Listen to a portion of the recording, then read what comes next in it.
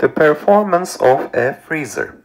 A freezer has a coefficient of performance of 2.4. The freezer is to convert 1.8 kilograms of water at 25 degrees Celsius to 1.8 kilograms of ice at minus 5.0 degrees Celsius in one hour.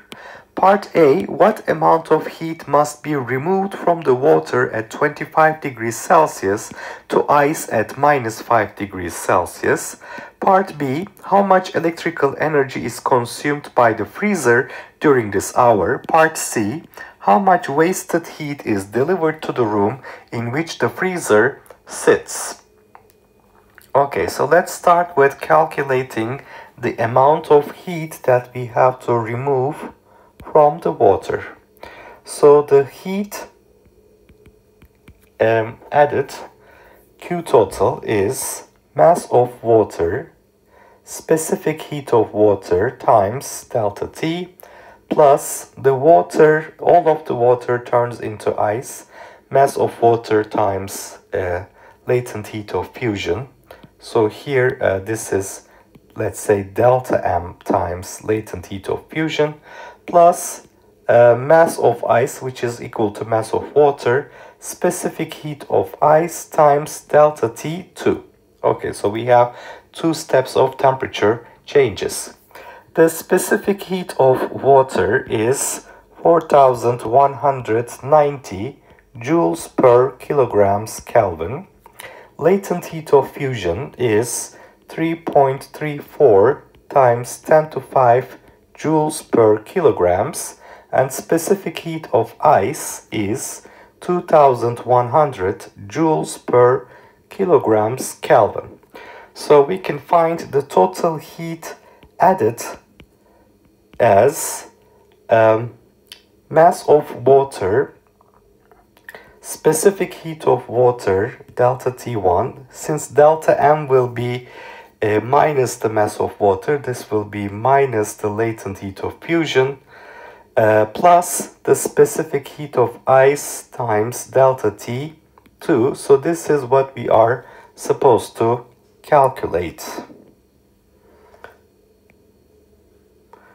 Alright, and let's plug in the numbers.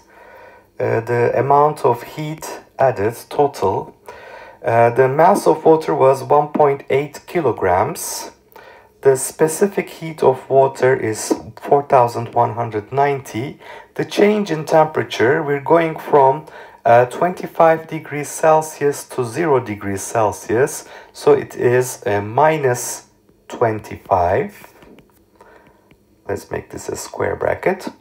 Okay, uh, then we have uh, minus 3.34 times 10 to 5 uh, and then we have 2100 times uh, minus 5 degrees Celsius. We're going from 0 to uh, minus 5 so if we calculate this uh, we obtain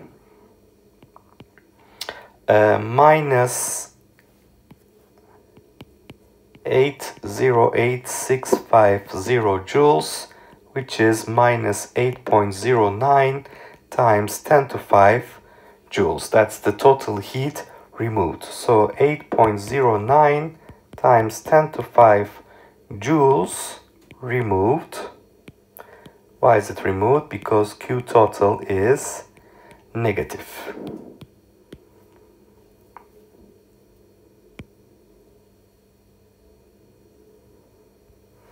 Okay, now in part B, we are given the coefficient of performance in the cooling mode. That is the amount of heat we extract from the water, QC, divided by W. So amount of heat we uh, extract divided by the work done on the system. So the work done is uh, QC divided by uh, the coefficient of performance, which is 8.09 times 10 to uh, 5 divided by the coefficient of performance, which is 2.4. So we find the work to be 3.37 times 10 to 5 joules. And in part C, uh, we want to calculate the heat that is wasted because the internal energy change in a cycle it has to be uh, zero. The amount of heat added to the gas is QC amount of heat extracted from the gas is QH work done on the gas is W. This should add up to zero.